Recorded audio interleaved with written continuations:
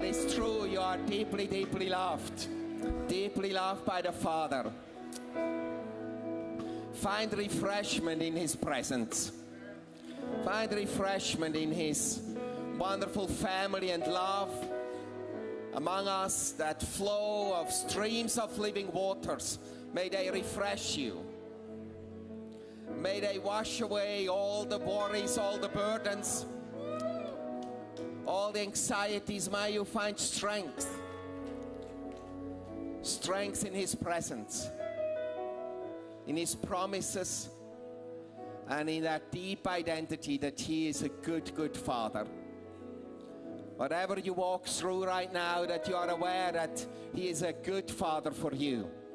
And there are great purposes in the midst of it.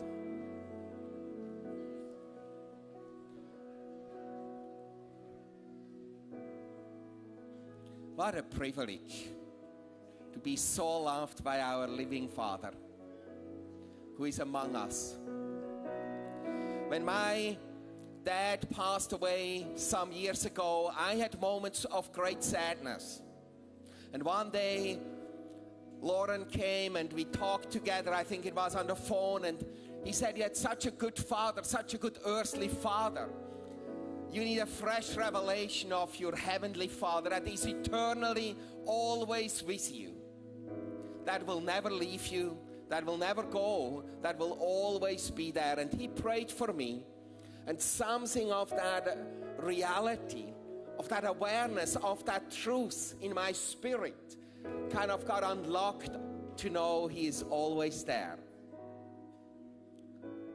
May this Father's presence refresh you right now. May this be like a foundation for all what He has called you to do, to build on, to rejoice in, and to walk with Him and find every day that great joy of His presence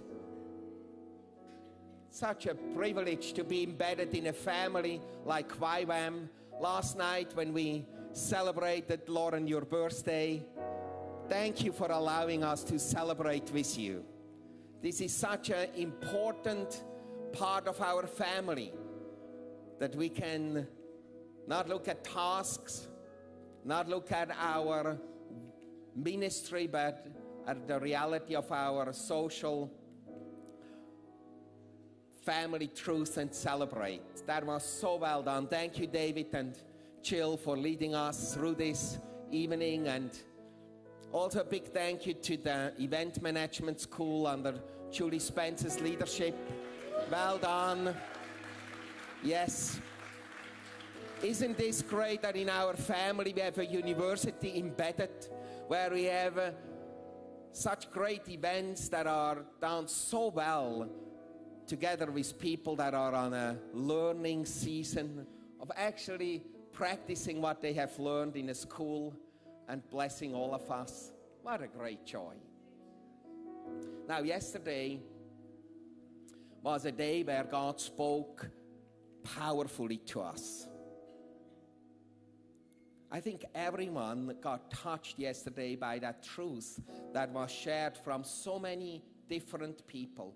Even our cameraman this morning I talked with, or we chatted about how this event all goes, and he said, Yesterday, yesterday was such an amazing day. I'm an Anglican, he said, but what I learned yesterday, that has really impacted me deeply. Yesterday, we made a commitment. They are registered in heaven.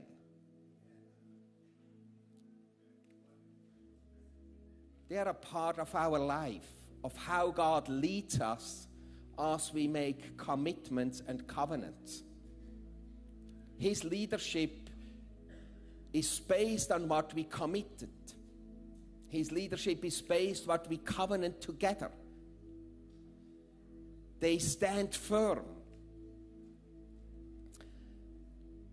In this commitment, the question is how do we work this out? And we just want to take a moment to talk about this together. To see what is God inspiring you? What is He? Uh, what is He speaking to you? How to work out this commitment? Often, in the moment, like yesterday, there is so much that God impresses on our hearts that He speaks to us, ideas that are coming up while someone presents, things we know that we are called to do.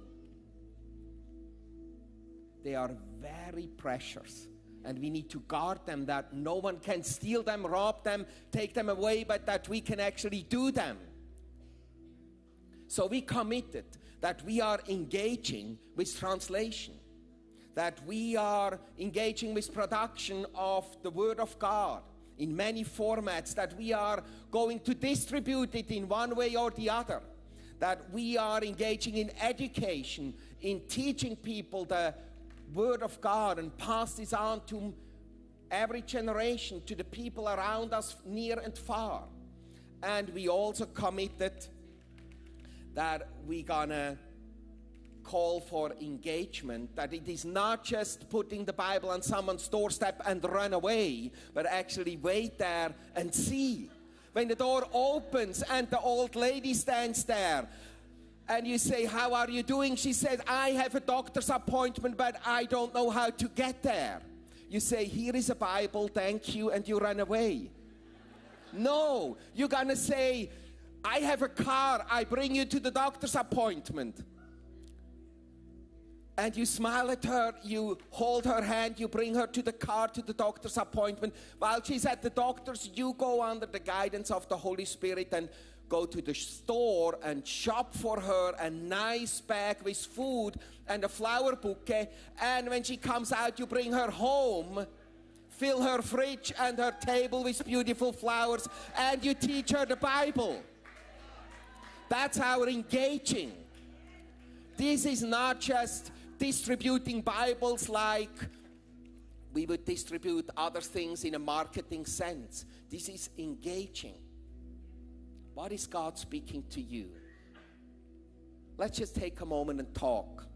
Turn around to a few people around you, two or three, and share what us we had yesterday such an impactful teaching, showing us opportunities, giving us vision, and giving us the tools how to implement that. This is a wonderful season we are living in our forefathers would have dreamed to have all of that on a little tablet. We have opportunities that generations never had. How are we going to respond to that? What is God speaking to you? What is He showing you? Let's talk. Take a few minutes, turn around, let's all talk together. Yes, we are not talking from here, it's you talking. You talk what God is speaking to you.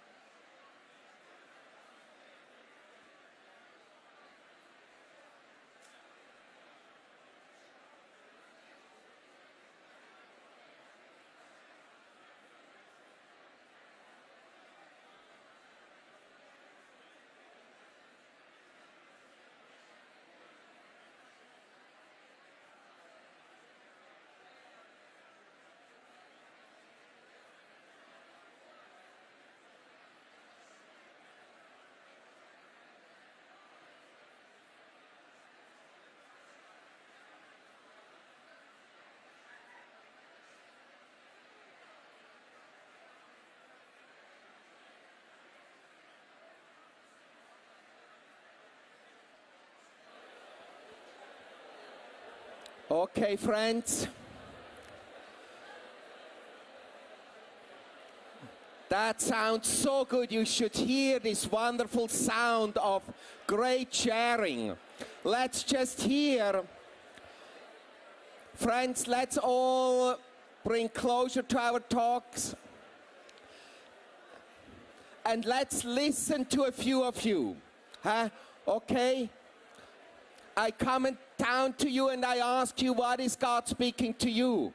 Let's all listen to one another. Okay? I go here to the back and I see. Let's all see here. Where do we go? Okay. Hi, I'm Marcus. What's your name? Misha, Why don't you stand, Michelle? This is Michelle. From where are you from? Hong Kong. Hong Kong. Great. What is God speaking to you about the ending Bible poverty now? What are you going to do? I hold it. Okay.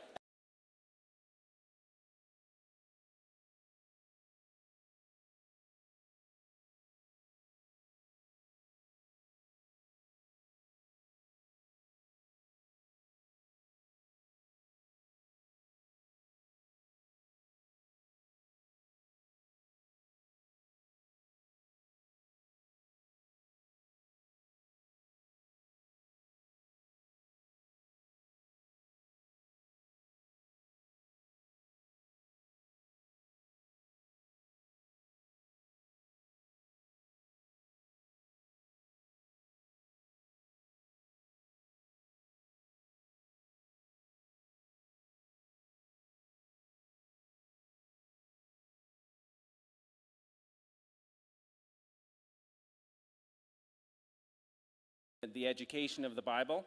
And we're, we've been asked our ministry by a group in Burma, in Myanmar, to help plant another SBS among their church there. So that's probably the next direction for me and my, the ministry I'm a part of. That's great. Let's give a big hand to Tim. That's a wonderful step ahead. Let's go down here and see on this end. Hello, my name is Marcus. What is your name? Bruce Litchfield. Oh, great, Bruce. Why don't you stand? What are you going to do? You are more life experienced, so you have a lot of treasures in you. What are you going to do? Uh, well, we've just come back from Cameroon and we're actively involved in ministering in developing countries in relation to the family. And how are you going to end the Bible poverty now? Well, I'm very much into Bible study and encouraging people to read the Bible to start off with, especially YWAMers. And I want to, I'll, I'll, Yes, we need that. Let's give a big hand to Bruce. Well done. And let's go in here quickly. Hi, I'm Marcus. What is your name? Uh, my name is Dylan. Yes, Yep. Dylan. What are you going to do? Um, yeah, I'm just really excited to get the SourceView Bible and to share it with uh, youth because I'm working or I'm doing a School of Innovative Youth Ministry in YWAM Newcastle right now. So I just really am excited to be able to show them the Jesus film and to connect with them in that way. Wonderful. Let's give a big hand to Dylan.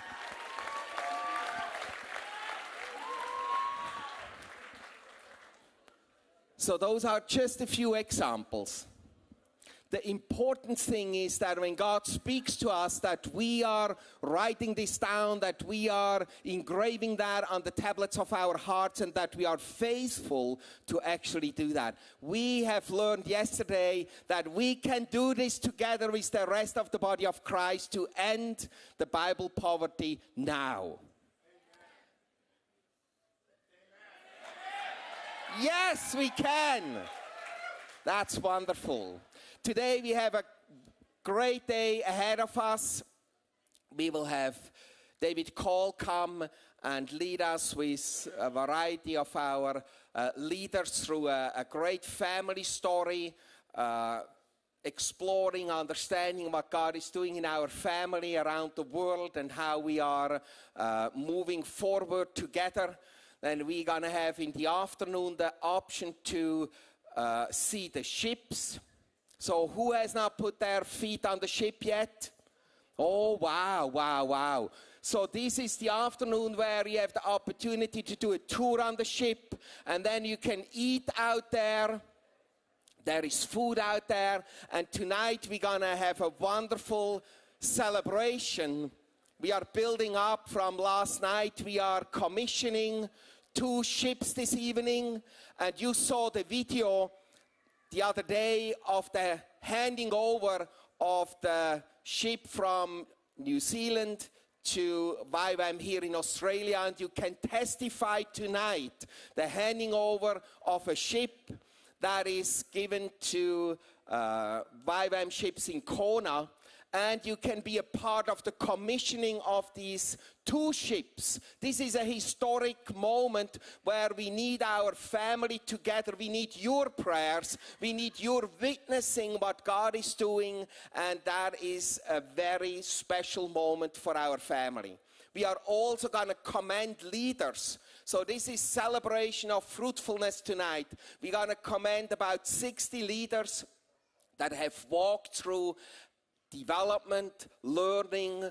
They have acquired a lot of skills, a lot of uh, experience, and a lot of knowledge. And tonight we celebrate what God has done in their lives. And from the University of the Nations, we're going to uh, commend them with their degrees their AA degrees, their bachelor degrees, and about 50 master degrees that we are commending people with and commissioning them to a fruitful life. Yes, let's give a big hand.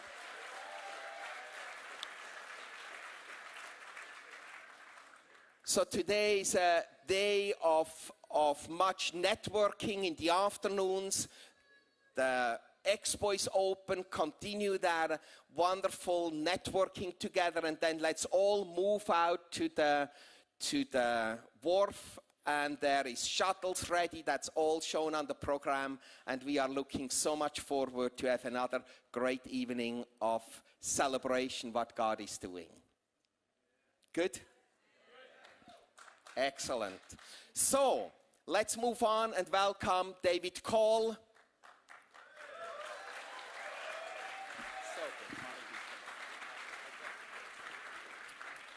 Great. What a wonderful, rich time we're having in the YWAM family, isn't it? And we're in for another rich time this morning. How many know that as a family grows and stretches and expands, there's all sorts of pressures, there's all sorts of joys, and how many know that just in their own personal lives? Any families here? Yes. I've seen many children, many young couples. It's wonderful just to see the growth and the life happening naturally and spiritually in and through this family called YWAM. Now, today we're going to go on a little bit of a journey. We cannot touch everything, but uh, we're going to have uh, our dear friend John Dawson come and share uh, for the first part of the morning. And he's going to just share some of the narrative that we've been through as a family. And I, I think as we've just been meeting this week, we're aware of a very, very special work of God that He's done in our lives as a whole family in preparing us for the future. That we're going into a future of great multiplication, great expansion, and great joy. And yet, it, there will be battles too in the future, but we're in it together as a family. How many know that in a family you stick together you fight together, and you lay down your lives for one another. Isn't that right? So we're here to do that. And uh, John is a very uh, precious uh, person. Also, Julie, I want to, Julie, if you just stand up. Let's just, you know, often it's, it's the wife. And Julie Dawson. Julie and John have been in YWAM for so many years. And John has been, for some of those who are fairly new, he was the president of YWAM uh, for many years. John has a prophetic role uh, in the nations in the body of Christ, not just within our own mission. And we honor that, John. We honor you. This man, I, I, don't, I can't speak highly enough of him. I've seen him behind the scenes. He, he's a good friend, and he has just been such a gift of God to us as a family. So, would you just welcome John as he comes this morning?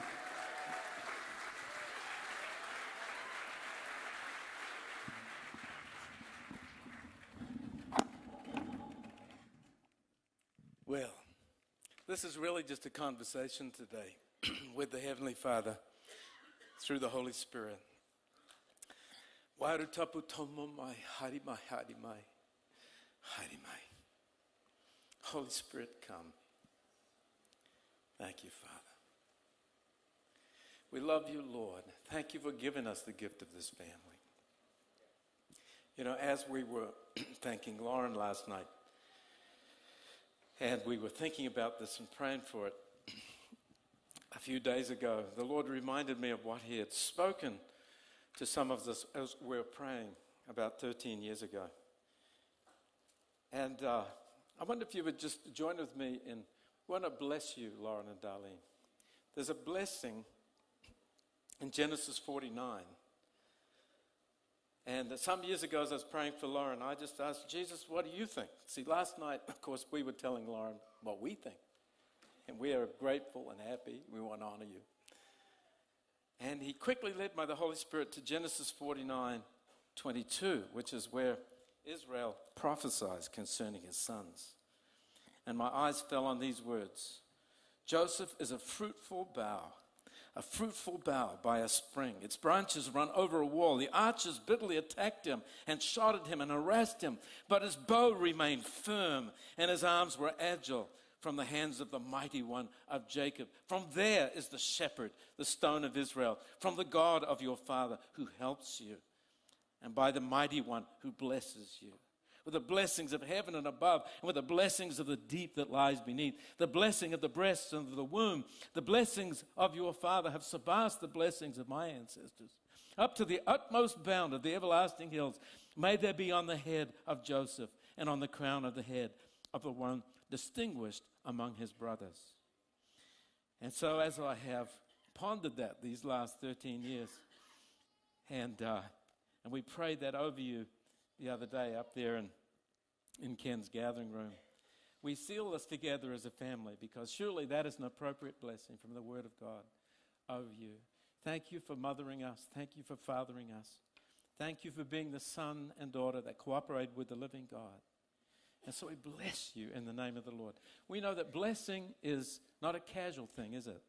It is an actual declaration and obedience to the Holy Spirit where we have the heart of God and we speak the words of God and it releases that which is created into time and eternity. And heaven and earth might be established this day, for that is the testimony we've experienced. Now, of course, we have many others who have uh, nurtured us and cared for us. And we are at a boundary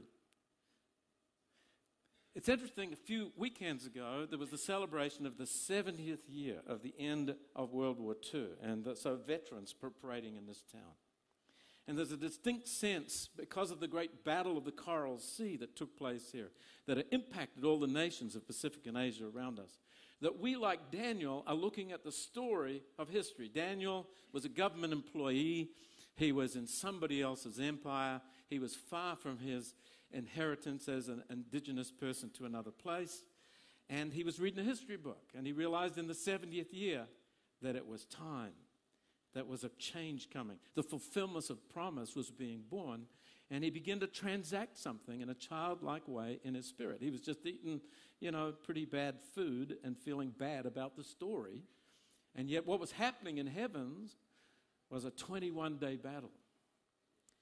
And so we are at a transaction moment right now in which we are entering in this part of the world the future of the next 70 years. We think about the, uh, the way we will surround as a loving midwife, as affectionate friends, the nation of Papua New Guinea, as we celebrate right here their, the birth that they experienced 40 years ago. We are lovers of the nations, of the peoples of the earth. And the book of Revelation talks about the, the New Jerusalem. And it says the glory and the honor of the nations will come in there before the Lord. And so, as YWAM began, we were an establishment of a great diversity of nations. I remember being there in Lausanne, hearing God worshipped in French, and I just burst into tears because of the, the, the glory and beauty of Jesus being exalted in another language. We had incredible diversity. I think we had five different nations and two languages. And uh, I just was absolutely uh, blew out my circuits in the, in the glory of it. and so we think of foundation stones like, uh, you know, Joe and Judy Portale that took on a spirit of adoption toward that francophone world and then and walked with us in that way. And so I just feel like the Lord wants to, in, in honoring Loren and Dar, also honor that founding generation and those who have served us for the last 55 years. And to say a series of thank yous. You know, God who teaches us to be grateful is himself grateful. Far more than we ever know. Oftentimes, do you experience this? You go into a place, a new part of the kingdom of God, with people you've not met, and you sense Jesus' jealous, brooding love as a heavenly parent. And he is looking at you with a kind of a severity, saying, If you only knew what they had gone through. And how we experience that is our natural mind understands very little, but our inner and inner heart salutes everything. I often experience that. I feel I'm looking at somebody who outwardly might be an old lady, who outwardly might be a young man, who might be of a different subculture to me in which I have no history or affinity, and yet my whole heart salutes because I am the temple of the Holy Spirit, and the Lord who dwells within me He's known them for their first breathing moment. He yearns for them and He understands their whole journey. I feel like we can be sustained by the love of the Father, but we also need the embrace of the family. And so, in our storytelling today, you know, God will give us a few examples and we'll transact some few things. One of the categories I think that God wants to honor, you can see what happened in Singapore, where those of you who that, that was our last big fa- family gathering. And um, we said, okay, we put a boundary. We said, we really do not want to go into the future with the level of our global network as a movement with uh, jurisdictions and authority titles and an overemphasis on leadership. That we need to really have an authority go viral based on vision and values and covenants and so forth. And we'll, we'll talk about that again in a minute. And so we called for the group of people and we commissioned them to simply call family gatherings like this last year. And so we've been meeting with them the last two afternoons and simply saying, How did it go? You know? And of course, they were not to be the new leaders in areas. That wasn't regime change. That was just people who would pull together family gatherings. And those family gatherings were not to be exclusive. We know that when there is a crisis on, like right now in the Mediterranean, someone needs to stand up and say, Let us gather, let us pray, let us press into God, let us build an altar of worship, and may the hand of the Lord come upon all of you in the situations where you are. May God be with you. If you are leveraging off the authority of our vision and values, may the Lord be with you. Lead courageously. And that was a very strong message that came to us as we were gathering in Singapore. We have um, been listening to the feedback, and that's part of our conversation. One of the things that we felt to do as we've been uh, listening to feedback is, is we have a growing sense of gratitude for those who led us through the story. And we felt that it was very important to reflect on and give honor the way people served us. If you think about the, the first generation of YWAM, there were three things that were the necessities of the times that formed our style of leadership. For instance, beginnings require unambiguous authority. As Loren said to us years ago, you need the pilot during takeoffs, landings, and crashes. during normal flight, you are more obsessed with, you know, I'm going to have steak or chicken, watch the movie, or go to sleep. And so, therefore, the steward or the stewardess is the most important leader in your life at that point. You see that? Or to put it another way, if you're a young couple and you have little kids, what love and wisdom dictates is that you become very directive. Or in a community sense, we would say be very apostolic. You see, very proactive, unapologetic about saying, this is the way we're going to walk together. Who is with me? But just like a family, you know, if you are still giving that uh, level of directive authority, and yet the family is all growing, it becomes more and more inappropriate and hurtful. The ultimate example would be uh, you know, you have a little baby girl, fathers, you change her diaper. By the time she's six, that same servant function would get you arrested as a molester and imprisoned by the laws of nations because her jurisdiction over her body has increased and your servant obligation has decreased. So we've been going through that constant evolving situation, and to some degree, we always will. Every time a new ministry is pioneered, someone's going to have to take the courage of risking misunderstanding and declaring what vision and purpose is and boldly leading where no man has gone before and various other scriptural and Star Trek metaphors. so, for those of you over the last 55 years who encourage and audacity, got a vision in your heart, you took the risk of pushing against the rest of us and said, I believe the Lord has called me to do this. Thank you. We honor you. We honor you. We also have the type of leadership in the last 50 years was, was shaped by the milieu of that generation. Think, for instance, of technology and communications and what was required. You know, we, in many cases, we had to have very strong coordinating offices over regions and nations simply because of the obligation of communications. I can think, for instance, of the story of YWAM New Zealand nearby. And uh, if you go back, you know, uh, uh, YWAM in America is the oldest. Obviously, it's an LA story, Loren and Darlene's story. But then it becomes Canada and New Zealand. So I can remember the technology that we were using. And, you know, we had zinc plates in a huge uh, cabinet, you know, and you'd bring them out. And I remember the original one we had there in Pasadena and uh, the you know mimeograph machines or typing without the IBM Selectric typewriter and so doing a correction the whole issue of communications was incredibly expensive and laborious you had to really you know you think well how did you recruit students in those days let me tell you what we had to do to communicate we had to all go together. We had to combine a bunch of finances from several bases. We had to have an office, a national office or a regional office. Sometimes we had to pay for a team to travel all the way to some area where there was a lot of churches in the world and where there was some kind of big festival or event and put up a booth and then hand out stuff. We developed the Go manual in which you know we would go together and we would buy an ad.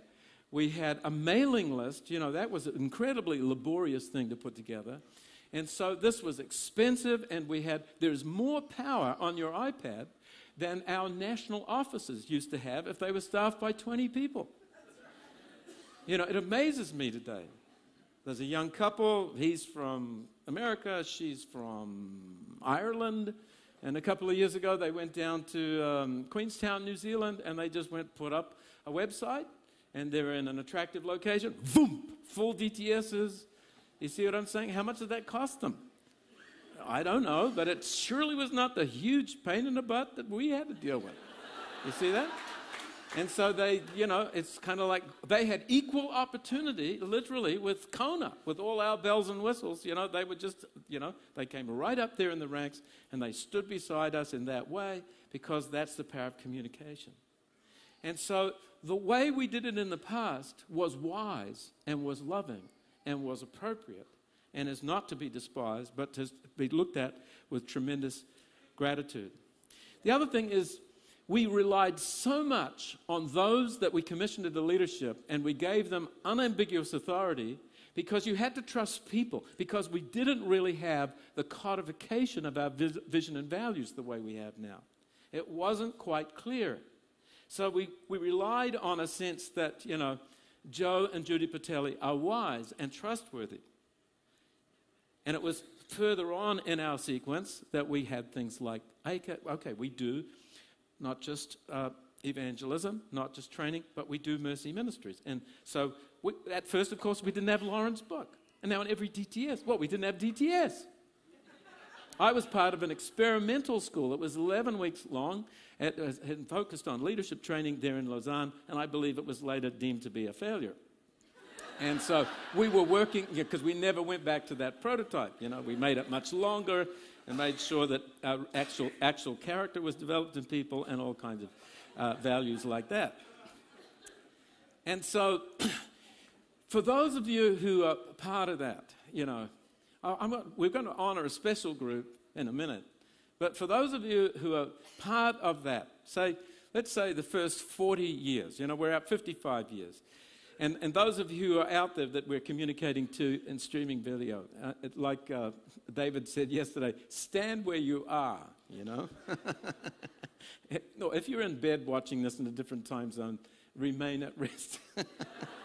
but those of you who are here today, you know, who want to identify, you're part of the f- first 40 years of the story. Would you stand? we love you. We honor you. We thank you for your faithfulness in that.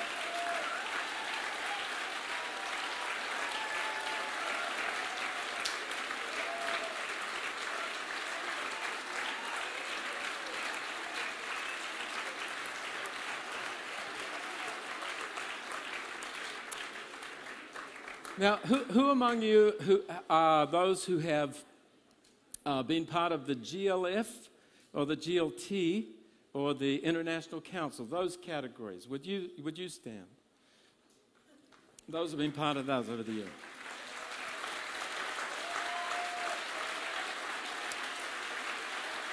Okay, you, you can be seated. But those of you who are here, you do stand for a category that we, we really want to honor today. And um, we know that there are many, many more who will perhaps watch this uh, afterwards through some kind of device or who are watching now in, in terms of streaming video. And we just want to thank you for being midwives for a new season. That which has been born among us is the work of those people. And uh, so they, uh, you know, as we sort of it looked like we were decommissioning the leadership teams over regions, but we weren't. The only thing we were saying is that those leadership teams are not the exclusive possessors of binary authority. We're saying those are not delegates to a governing group. The authority now comes from our vision and values. It comes from a clear understanding of our story. It's beyond our ability to govern. It was becoming ineffective. And so now we are thanking those people for stewarding us through that season into this understanding. And then we also want to thank those people for continuing in their assignments. Because, for instance, those circles, many people have walked together. I was meeting with one of the ones in North America, and I said, Look, if you all drift apart and no longer meet, that shows that your unity was artificial, but was based on government. But if you have become deeply committed to one another through these years of things that you've endured, you are a powerful priestly prophetic circle, and you should keep, you know, maintain your position. That is the that is the uh, the frightening reality of Exodus 19, where you see Moses, Aaron, and Hur, and then you see Joshua and Caleb, and then you see the young Israeli army facing Amalek. And so I want to say to all of you who have had formal positions within leadership structures when it was very defined, you know, prior to Singapore, do not leave the mountain. Remain in intimacy with your old friends. If necessary, get a rock under your butts, and it might take three of you to hold up one person's hands, like we see in that picture. But if you are not focusing, if, if they are not able to, uh, if Joshua and Caleb, that leadership generation that's there, if they're not able to see you with your arms raised, then the young people will be slaughtered. And so I say, in Jesus' name, report to duty in the morning. You are not supposed to go anywhere. You are supposed to continue in the relational context in which God has given you, family, and in, in, the assignments that God has given you in your gifts and callings. We thank you for continuing in those things all these years. Now, even do more so. In some ways, you've been liberated from some of the yokes that were part of the necessity of the season in which we've had to walk. And this is your day. So maintain your existing circles. They are no longer exclusive, they are now to multiply to the left and the right in every direction. See that? And so those gatherings that we had uh, in the last few months, and I've been at many of them, and they're, they're just amazing because uh, the persons that were appointed to convene were, were really just putting on an event, you see. Now, they also, in order to convene, had to be people we really trusted and loved. So that's part of it. But what we mean by eldership is really just mature people create circles of mature people. As we listened to feedback the other day, we've heard, learned that in some of your regions, the idea of eldership is very problematic because it has so much cultural baggage that comes with it. And one leader was just saying, We decided, all right, let's forget the debate, and we just said, We're talking about mature people, those that really know the Lord. Can we have circles of those mature people? And can they convene us in all of the thematic and geographic ways that are necessary depending on what's happening in our family story? And the fact is, you've been all doing that for years. Just do more of it. Feel utterly released. That sense of uncovering you may have is a false thing. That sense that I don't have permission to act because I haven't been asked. This is the moment. We're asking you to act. We're saying, go about your Heavenly Father's business in confidence. And you'll have that confidence based on your knowledge of the story and based on the vision and values. And we'll itemize that and make that very concrete in a minute.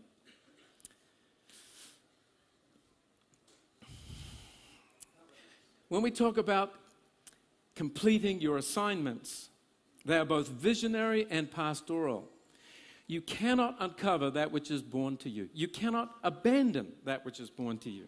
We went back to PNG with Tom uh, a few days ago. And as we walked the land where he and Kalafi and others had ministered back in 1969, you could see that Tom had a spirit of adoption in his heart. He never left PNG. His body left, but he did not depart from or abandon that place. He's carried that sense of fatherhood. Now, may that grace be upon you in all of the places in which there has been kingdom life born to you. Watch over it in unity with others and move in the spirit of adoption more proactively than you ever have been. You know, I think about, you know, let's make this very clear what we mean by assignments. You might think, well, it's all got vague, it's all very vague, and we have no authority. But when any circle of people affirm the calling of somebody and they boldly lead in an assigned area, think of the way that Lynn Green has served us in communications. You know, when it comes to our websites and those things, you know, it would have been originally that Lynn and Ian and I did things as a governing body called Team 3. And so we laid that down a long time ago. But then we said to Lynn, look, the hand of the Lord is upon you, and you are excellent in that. And we honor you in that, and we need you in that. Would you please keep doing that? See that? By the way, I'm calling right now for those of you who have that calling to fully support him and then he really would like to be replaced as a person under the pressure of being at point, you see. But that's worked out as love and wisdom dictates, and you're to do that boldly. I was appointed to an institutional role with a title, the president. In 09, I felt that I was just to say to my peers, I'm not going to use that name anymore. I don't think that's appropriate in any way. I'm going to invent terminology for myself. But what I was doing, I realized that when I was commissioned there in 2002, that in the commissioning there were very two specific things. Number one was go after and encourage the reanimation of our ship equipped network and encourage the tip of the arrow, which is evangelism. I have never laid that down. You see that? That is an assignment out of heaven that came by prophetic revelation in a time of prayer, was affirmed by my peers, and was commissioned by the laying on of hands, you see? And it has nothing to do with an institutional reality, nor is it exclusive to me. But I'm going to walk through that until God lifts that from me for the rest of my life. You see that? That's what we mean by an assignment. So there is a huge amount of work that needs to be done to maintain our movement. Now, what about at the local institutional level? We have a word that might sound contradictory, and that is that we are to strengthen institutionality.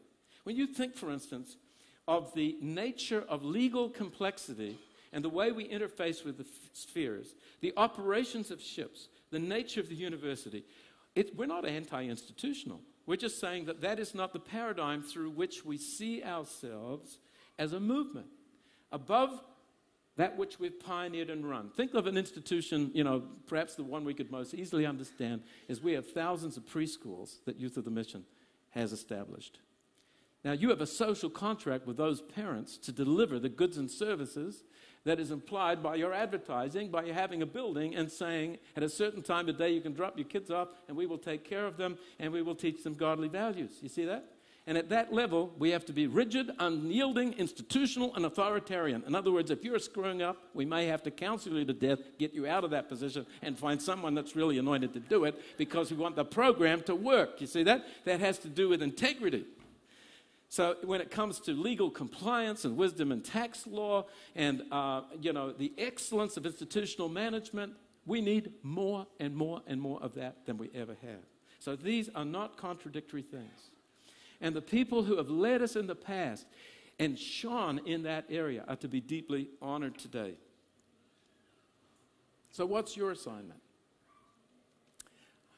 May the Spirit of God come and bring an illumination of that right now. You know, David, I just feel like maybe this is a moment to, to honor those who've ser- served on the GLT and the GLF.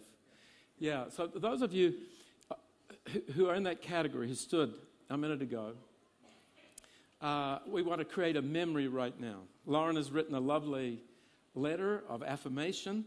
Uh, we've got it that in a way that's a presentation gift to you.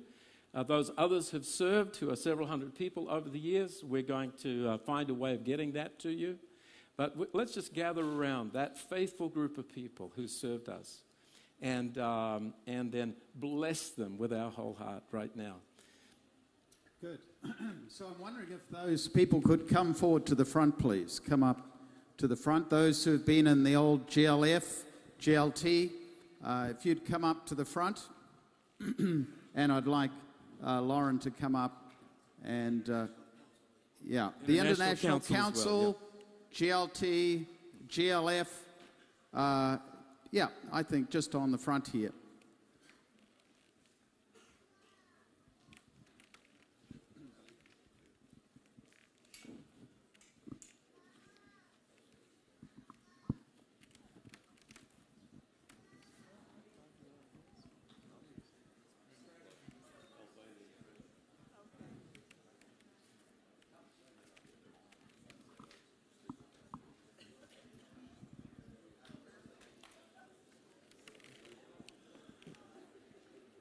Last evening, you gave me great honor.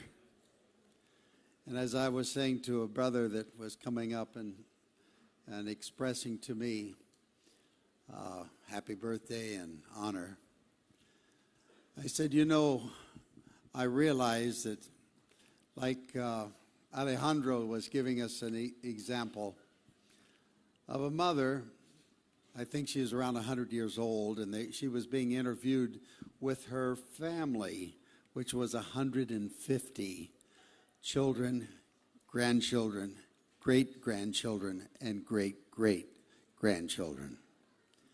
And they said, How could you do this? She says, No. I just raised my eight kids, tried to do it right, and then they did the same, and the next did the same, and the next did the same. Now we're 150. That's YWAM. That's YWAM. And that's what we have to realize. Even as you honor those that have gone before you, you also realize greater things are you going to do than we've done. Because even uh, as John talked about the, the mimeograph, before that, we used the spirit duplicator, it was called. You know, you have to be old to know even what that was. But yeah, you got purple on your hands and also much on the paper.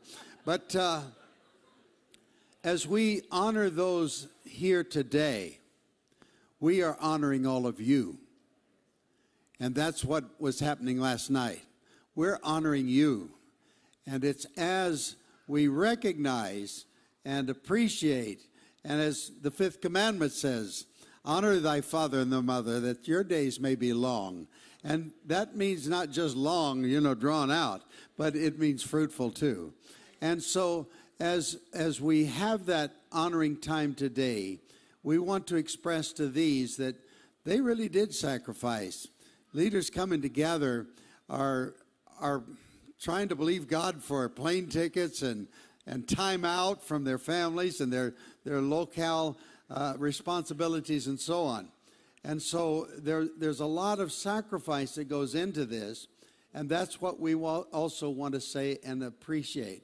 And Darlene is a lot better at thanking and, and uh, appreciating than me. I'm on to the next thing because I'm, I'm, I'm still thinking about the future. But uh, it's, uh, it's a fallacy, actually, and a weakness in my life. Well, I don't know how long I want to take with that, but I do want to say, our fellow friends and coworkers, in all the years that we have gathered together, there's always been this anticipation in our heart that we're getting to be with some of our best friends. And we're just so grateful for your commitment. Grateful for the word of the Lord that resides in you. Grateful for the way you have formed the vision and the mission and led us into the covenants that hold us together now today. And so all we're doing today is acknowledging that which is and saying it's going to get so much better. But as John so exhorted all of you, we mustn't pull back from what God's called us to. As long as we've got breath in our in our in our in our bodies and strength in our bodies, we've got to keep on going. There's no time limit on this. And uh, the wisdom and experience that you have experienced, that's to be that multiplication factor. It's not to be held to with you. So we really bless you and thank you so many of you I know so, so well. And so many of you, I have been in the places where you minister. And um, when uh, some were on the stage yesterday, I think particularly of you, CeeLo, because I've known you for such a long time. And I thought about how much pride I have in my heart uh, for who you are and the workers that are here today because you're here. And it isn't just, it, it's, it, the rejoicing comes not in just the strength of your leadership. The rejoicing comes in seeing the fruitfulness and meeting the people which you have discipled. And I could say that about all of you. And uh, I think about King's Kids last night, Dale, and how we were together when that started. And it's the fruitfulness. And, and all of us, we just do what God's called us to do and have so much fun doing it.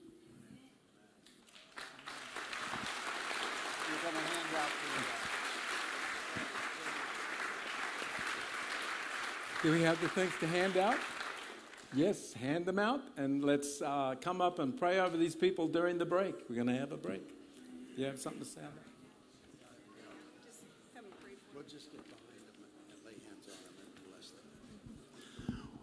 We're just going to go down the line. Darlene uh, is going to start at one end, and I'll start at the other, and we're just going to pray a brief blessing over each one. But would you just extend a hand of blessing to them? Would you do that?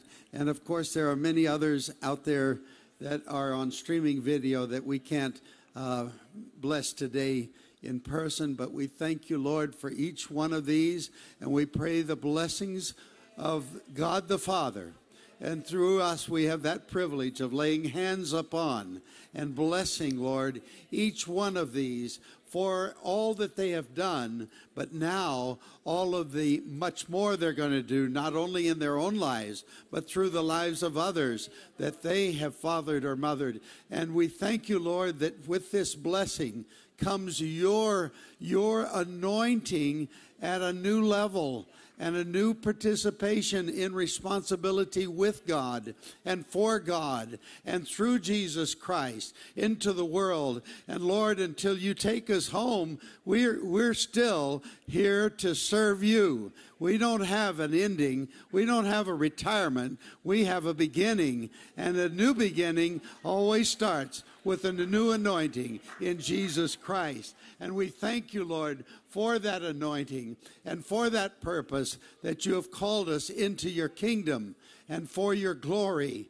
and honor and praise to Jesus because ultimately it all goes back to you, King Jesus. As we thank you, Lord, for these who have been faithful, these who have led the way in so many times and seasons and difficulties and great triumphs, and all of it goes together, but we lay it back down at the feet of Jesus, like in Revelation chapter 21, and we give you all the glory, all the praise, all the honor in Jesus' name.